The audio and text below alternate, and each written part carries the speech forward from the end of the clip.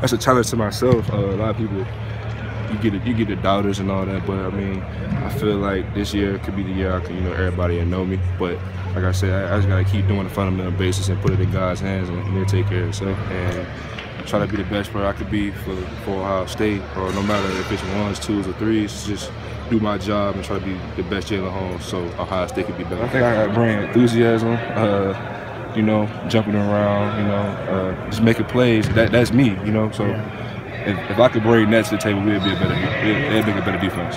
What do you think is the strength of your game? Uh, speed, speed and enthusiasm, just, just having a high motor and speed.